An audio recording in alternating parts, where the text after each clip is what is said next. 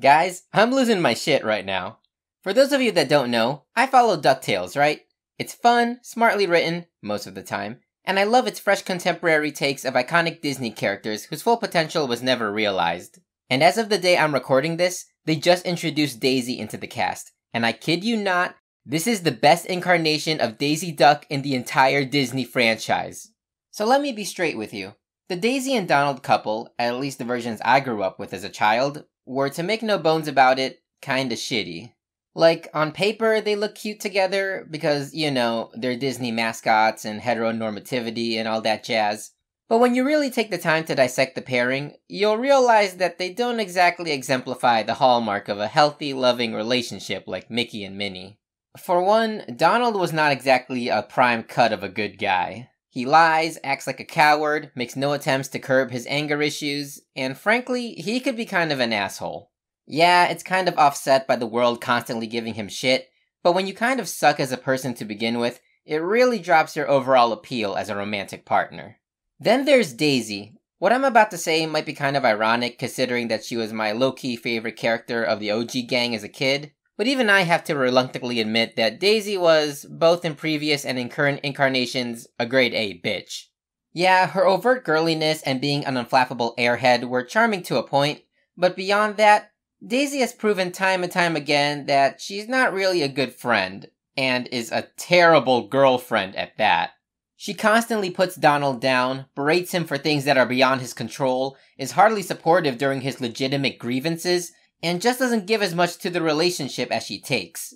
If Mickey and Minnie are America's most lovable couple, then Donald and Daisy are that terrible couple from those nuclear family sitcoms. You know, the ones where a beautiful woman is inexplicably married to a man child who's much duller, ruder, and is ostensibly out of her league and the lady herself is portrayed as a nagging, inconsolable housewife who's completely blind to her husband's major faults. But you know, he's a good guy underneath. And that's pretty much the staple of Donald and Daisy's relationship. It's founded on a shitload of turbulence, and even the new Mickey Mouse shorts, while delightful in their own right, play this off as a good thing and should just be accepted. And don't get me started on the Three Caballeros series. I say that having not watched a single episode of it. In short, their relationship has always been shallow to me because we've never really gotten a good look at why they love each other and why we should support them. They're just together because they just are. Then DuckTales happened. Already, this is way different than what we've seen before because in this version of the couple, Donald and Daisy haven't even met yet. And this is honestly the best route to take the pair because we as viewers get to see how their love story unveils for the first time and we can experience exactly what forms the basis of their relationship. And by God, did this episode deliver. When our two ducks have their first meeting, the very first thing that they do is treat each other respectfully as people. Donald holds the elevator open for Daisy and acknowledges her personal space, even when he's trying to steal from her for plot reasons, but still. And Daisy, well, she's not going out of her way for him, but she's generally decent considering he's still a stranger at this point.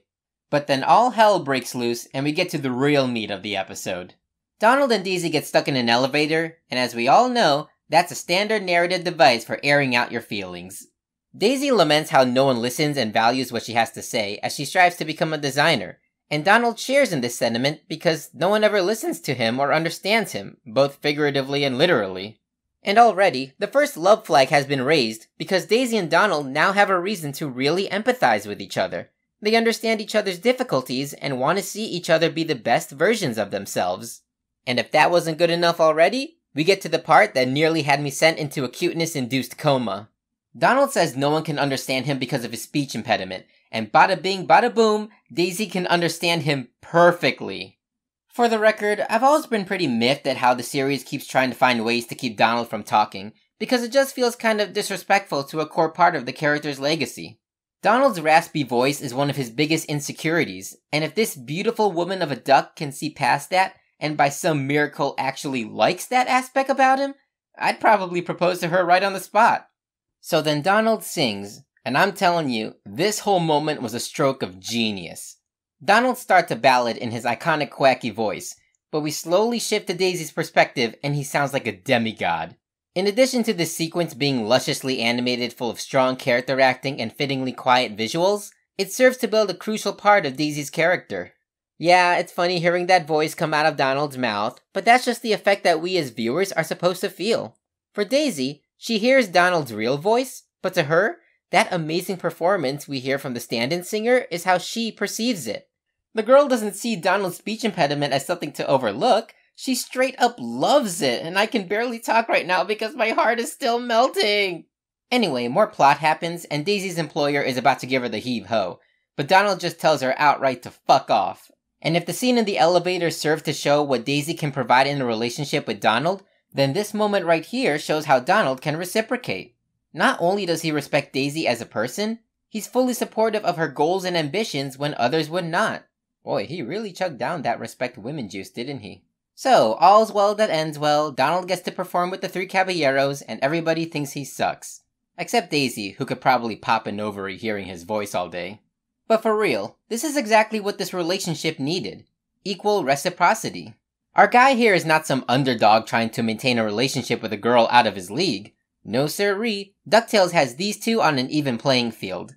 Donald's fondness for Daisy carries the same emotional weight as Daisy's fondness for him. She has just as many faults as Donald, like the latter's rage and temper, but even that has a secondary purpose of being something Donald can relate to and work together with her to improve.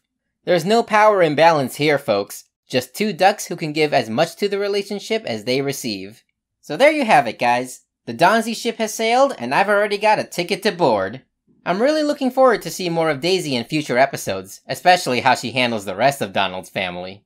I never thought I'd be losing my shit over a couple that's been a staple since the 1940s, but you know what? I'm weak like that, and I don't care. Why? Because I can take solace in the fact that all of you watching this video are just as shameless as me.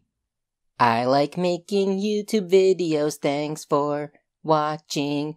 If you want more content like this, comment subscribe. I did not script this. I'm so embarrassed. DuckTales, woohoo.